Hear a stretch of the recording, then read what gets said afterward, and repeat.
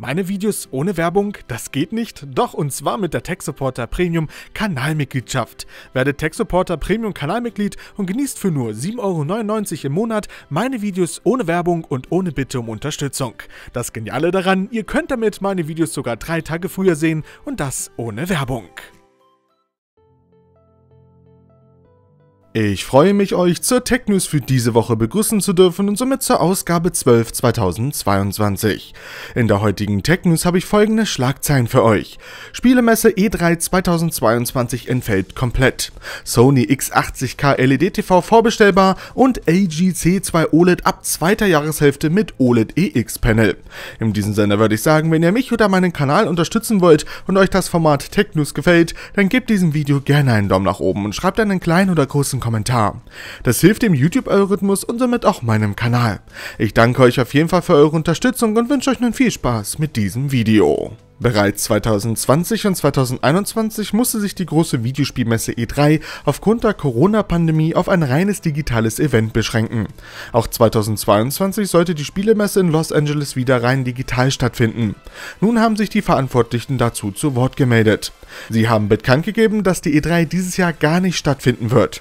Ein genauer Grund wird nicht genannt, es wird aber vermutet, dass das Interesse der Spielepublisher nicht groß genug ist.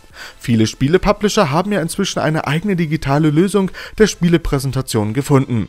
Die E3 soll aber 2023 wieder gewohnt veranstaltet werden. Dass Streamingdienste wie Netflix, Disney Plus und Co. total beliebt sind, muss ich wohl nicht weiter erläutern. Diese Beliebtheit soll wohl aber bald ein Ende haben, zumindest wenn es nach der Beraterfirma Deloitte geht. So errechnen jene, dass im Jahr 2022 rund 150 Millionen Menschen ihre Streaming-Abos komplett oder teilweise kündigen werden.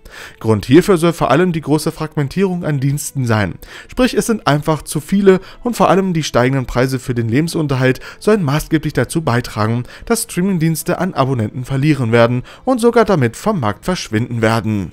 AG hat bekannt gegeben, dass der AG C2 OLED TV ab der zweiten Jahreshälfte zusätzlich mit einem OLED EX Panel auf den Markt kommen wird. Bevor jetzt alle C2 Interessierte aufspringen und Hurra schreien, würde ich euch bitten, sich wieder zu setzen. Denn das EX Panel wird vorerst nur für die 42 Zoll Variante erscheinen und es wird keinen Einfluss auf die Bildqualität oder Helligkeit des C2 haben. Grund hierfür ist unter anderem, dass dem C2 die Heatsink zur Kühlung des Panels fehlt und der Pixelabstand der kleineren Modelle zu gering ist, um einen sichtbaren Effekt perfekte EX-Technik zu bekommen. Sprich, das OLED EX-Panel wird keinen Helligkeitszuwachs beim AGC2 bringen. Aber was wird das OLED EX-Panel nun bringen? Dank der Deuterium-Technik können OLED-TVs damit a. langlebiger und b. stromsparender gebaut werden. Somit wird sich der Vorteil eher auf die Betriebskosten auswirken als auf die Bildqualität. Wirklich von einem OLED EX Deuterium-Panel wird wohl das entsprechende G2-Modell profitieren, welches vermutlich auch in der zweiten Jahreshälfte erscheinen wird. Der 4K Einstiegs-TV X80K aus dem Hause Sonys kann nun seit dem 5. April 2022 vorbestellt werden.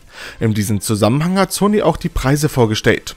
So erscheint der X80K in 43, 50, 55, 65 und 75 Zoll und dies ab 899 Euro bis 1999 Euro.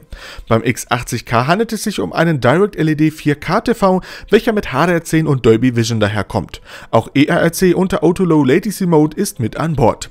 Dinge wie 4K mit 120 Hz, VRR und somit der vollen Unterstützung von HDMI 2.1 sind nicht mit dabei.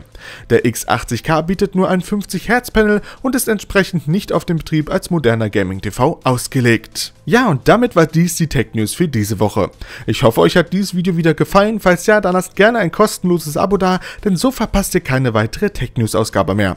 Ansonsten würde ich sagen, ich wünsche euch eine schöne Zeit und wir hören und sehen uns im nächsten Video wieder. Macht es gut!